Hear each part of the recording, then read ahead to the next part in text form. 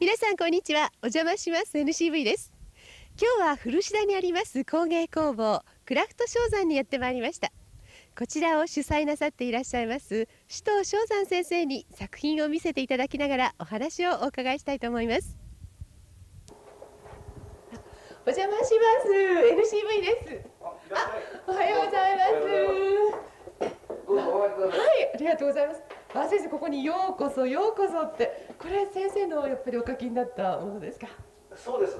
あの古い漢詩から取ったあのお客様をもてなすっていう意味のお酒を読んだ歌なんですけどもあの小島さんもよくご存知だと思うんですが鹿がようようと鳴きましてねあのお客様をお迎えするって六名間のあの鹿ですね。鹿の鳴き声を歌ったんですが酒に対してまさに歌うべし人生いくばくぞや例えば朝露のごとしっていうあのまあ、うさを人生のうさを忘れてお酒飲みましょうっていう。お酒。先生私夜来ればよかったですね。本当に。ああでも本当になんかあのお迎えする心が出てってとってもなんか先生らしいなって感じがしますね。えー、なんかお玄関にもたくさん素敵な作品がありますがこちらもそうですか？そうです。あの私の大好きなお地蔵さんなんですが何回か作りましたんですがあの、まあ、モチーフとしては非常に面白いですね。あのロボット機っていうのはもう日本人の長い間の昔からのねあの村人の感情を出したモチーフとしては素晴らしいもんだと思いますけれども、まあ、できたお人形さんは 別ですけども頭撫でてください。喜びますよ。本当なんかちょっとこうほっぺも撫でたくなるよねとってもね。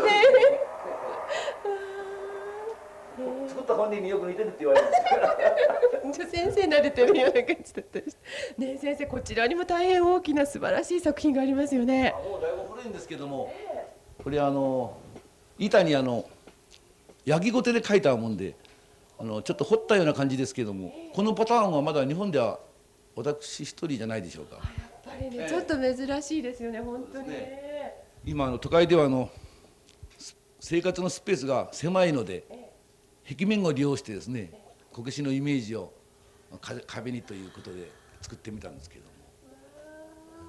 とっても素敵。あのタペストリーみたいな感じそうですね。はいそういうものです。まだ正式の名前はないんですけど パネルこけし絵ということで作ってはいるんですけれども、本当に素敵。はいありがとうございます。じゃあお邪魔します改めてご紹介いたします。工芸工房クラフト商山を主催なさっていらっしゃいます首藤商山先生です。ようこそいらっしゃいましこんにちは。お邪魔します。いや先生このお庭もまた素敵ですね。今日はとってもいいお天気でね、ね、景色がいいですね、えー、前あの町の中心部にいたんですがやっぱり仕事するにはこういうところがいいと思いましてねお庭のあの木にも随分あの小鳥の巣箱がかかってるんですが可愛いデザインがあってそうですね。あの鳥の種類によってですね、ええ、あの入り口の穴の大きさとかですね加工は違うんですよ。ですからそれぞれに応じて作ってるんですが1718個あるでしょうかあの中に。そうですか、ええ、まあ。生地をはじめね、ええ、いろんな鳥が来るんですよ。鳥っていうのはあの砂と水を置いとけばですね、必ず来るんですよただあのスズメは非常に生命力の強い鳥ですのでね、えー、スズメが最初に独占してしまうと 後に可愛い鳥が来ないそれだけマークしてるんですまあそうでしたか、えー、まあ素敵な巣箱にそしてお池のところにもなんかあれも先生の作品ですか？あれはそうです。池の。石彫りですね。まあ米沢弁で言いますと「噛まないでけろ」っていう噛まないでくださいっていうあそう。ゆいが独尊のあのお人形さん。あそうか。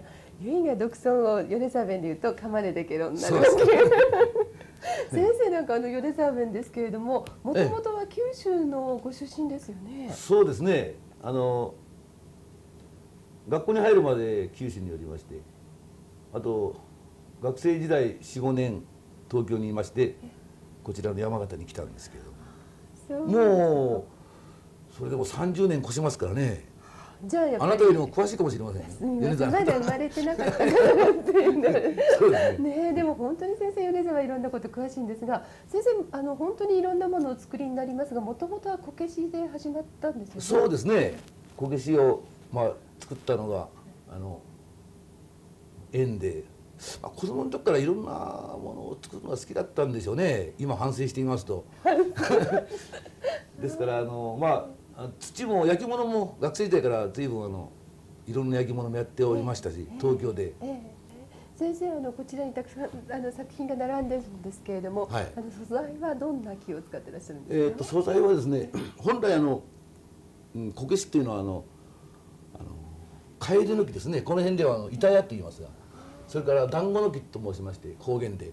いやあの水木と申しますはいあのああいうものは、月につける、ええそうそう。ああいうものがあのこけしの素材だったんですが、あの私がこちらに来ました。30年前に初めてその欅とかですね縁樹の木をまあ材料として使ったんですが、まあ、かなり反発もありましてね非常にもう長い間の伝統をぶち壊したってことえで。えそれからあのあ穴に木に穴を開けましてそれに入れたり別の木をジョイントさせたりする工法も私が初めてやったんですね。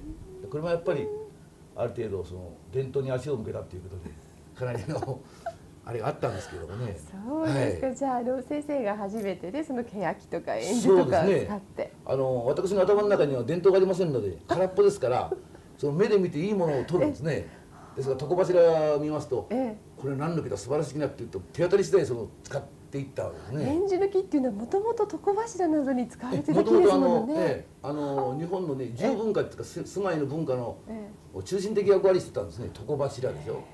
それからこういうあの棚ですね、ええ。足を踏むところには使ってないようでした。ご承知のようにあの木片に鬼という字書く。はい。ですから縁起物であの魔除けの木だっていうことでですね昔からあの重宝がられておりまして。で生きた木はあの屋敷の基本に植える風習がありましてね今でも。あ、そうですか。あの災難を避けるっていうことで、ええまあ大変こう格調の高い木ですね。原産地はもともとあの中国らしいんですけどあの軽量にと書いてなんで演じて読むのかちょっと、ええ。で東洋漢字にはありますけどもね、えその木の名前は。でその黄色いのがあの欅ですね。そだから茶色い ええ。セピア色があのセピア色のが縁樹の木なんですけど。あ、縁樹の木はそうするとどれですか？あ、いいですこれ縁樹の木ですね。あこれも縁樹です。このパウンってこの鳥が水鳥がこれが欅です。そうですね。はい。あ、欅はこういう色になってくるんですすね。はい。これも欅ですね。先生ちょっと触ってもいいですか？重いですね。重いですよっとじゃあカメラの方まで運んでいこうと思うんです。すごい。うわ重いですね。はあそうですか。これだけでも何キロもありますね。そうですねちょっとあの動きあのええ皿掃除っていうのええあのあのシルクロードシリーズで出した作あ品ですがのお玄関であった作品にちょっと感じが似てるシルクロードの。はいはあのパキスタンの模様を取ったエスニック調なんですがこれ十何キロありますよあすごい。もう何年ぐらい経ってる木なんですか？そうですねあの木は半世紀ぐらい経ってるんじゃないでしょうかねはいそうですか。河野欅がやっぱりあの小国と申しましてそこのええはい。ですねあのえ国有林が出た木で600年ぐらい経った欅なんですね600 600年はい人間の歴史を眺めてきた木なんです そうですか。ですからあの何にもないこう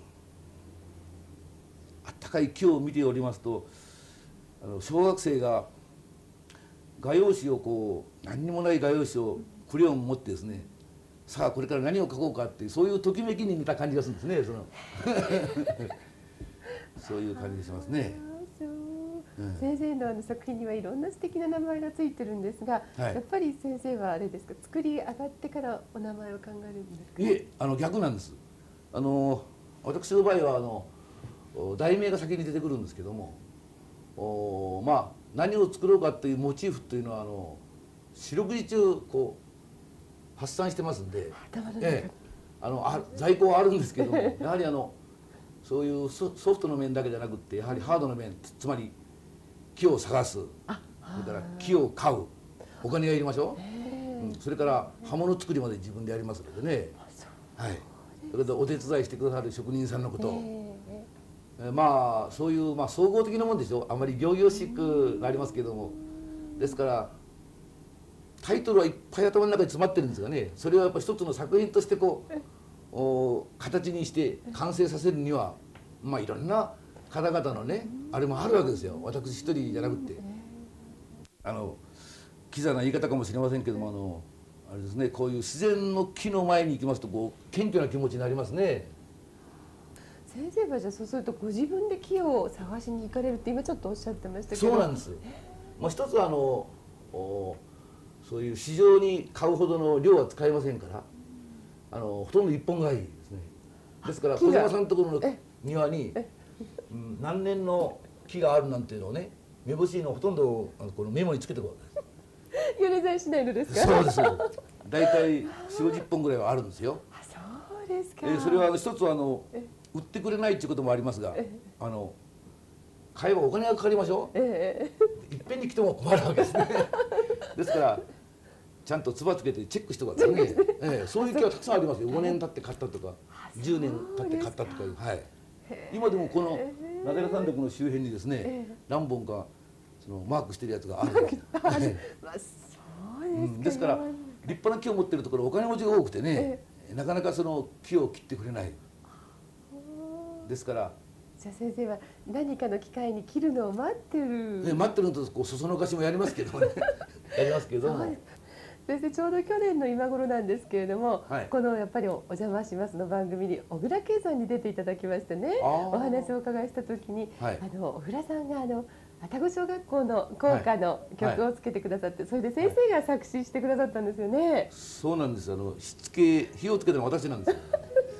あの 偉い文学者なんかに頼んでも土地の風土わからないやつには歌は読めないだろうってことで。であの私作詞をしたんですがちょうどあの私のお客さんに小倉圭って方がいまして、えーまあ予算がないのにやりませんかって言いましたら二つ返事でね OK やりまして、まあ、本当に一気火星に作ったあの歌はあの効果っていうのは大体の日本の歌っていうのはあの縦割りらしいんですね。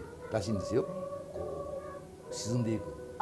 ところが小倉さんの歌っていうのはあのこう跳ねてるらしいんですねこうピンピンと。